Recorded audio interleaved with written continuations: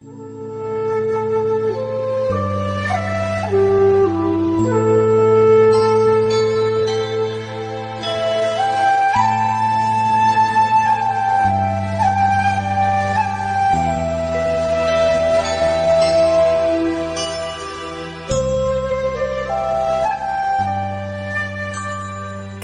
thị chuyên đề 1200 đề tài của Hòa Thượng Tịnh Không. Đề tài 58 Đệ tử quy là nền tảng của Phật giáo. Chúng ta tu học tịnh tông không chỉ là tịnh tông Chỉ cần là Phật Pháp Không luận là tiểu thừa, đại thừa, hiển giáo, mật giáo tông môn giáo hạ đều là xây dựng ở trên nền tảng của tịnh nghiệp tam phước. Phật nói được rất hay.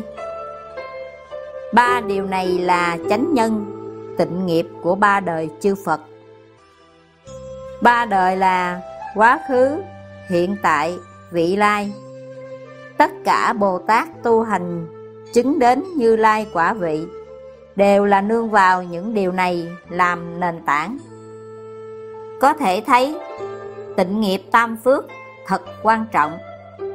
Trong tịnh nghiệp tam phước đều thứ nhất, hiếu dưỡng phụ mẫu, phụng sự sư trưởng, từ tâm bất sát, tu thập thiện nghiệp. Hai câu phía trước là hiếu dưỡng phụ mẫu, phụng sự sư trưởng. Tôi hỏi bạn, làm thế nào để hiếu dưỡng phụ mẫu?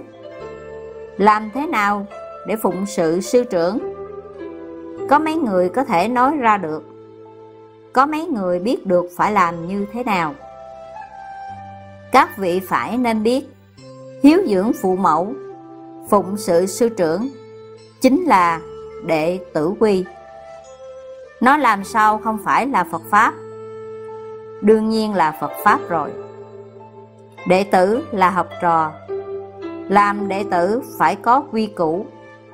Bạn xem thấy, Chúng ta chính mình tự xưng là đệ tử của Tam Bảo. Làm đệ tử mà quy củ bạn đều không biết. Vậy thì bạn không phải là đệ tử chân thật của Tam Bảo. Hổ thẹn đối với đệ tử Tam Bảo. Cho nên phải biết, Đệ tử quy là thực tiễn ở trong hai câu đầu của tịnh nghiệp tam phước. Thập thiện nghiệp đạo thực tiễn ở hai câu sau của phước thứ nhất. Từ tâm bất sát tu thập thiện nghiệp. Cho nên, hai môn bài khóa này không luận là chúng ta học thế pháp hay là Phật pháp. Căn bản, nền tảng chính ngay chỗ này. Nếu bạn không cấm gốc ở ngay chỗ này, không luận bạn tinh tấn như thế nào, bạn nỗ lực ra sao, đến sau cùng vẫn là không thể thành tựu. Việc này chí ít tôi đã học Phật hơn 50 năm rồi. Việc này tôi thấy được rất rõ ràng. Phàm hễ có được thành tựu đều là cấm gốc trên nền tảng này. Không có cái nền tảng này thì không có ai có được thành tựu. Việc này chúng ta không thể không biết. A-di-đà Phật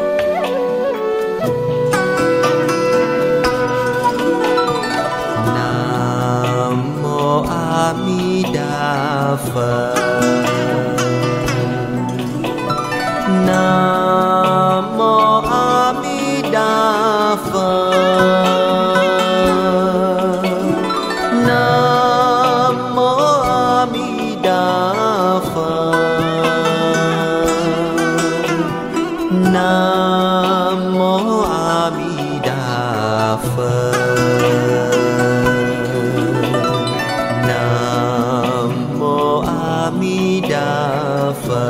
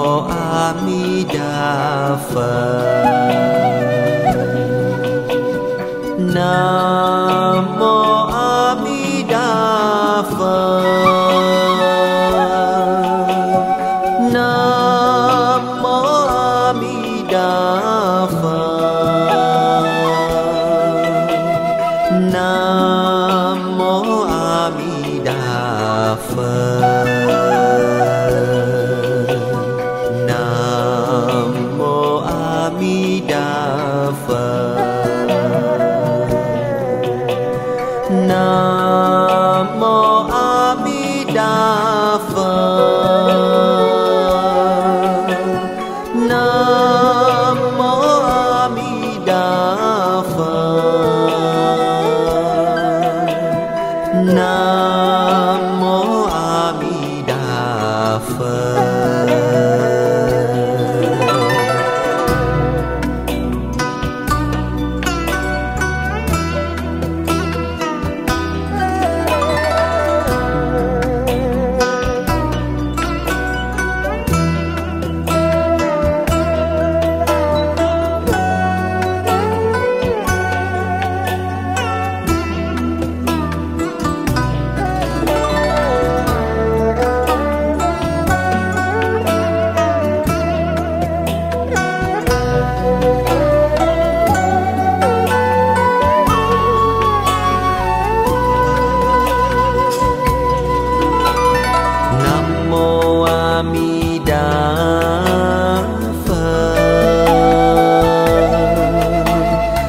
nam mô a di đà phật.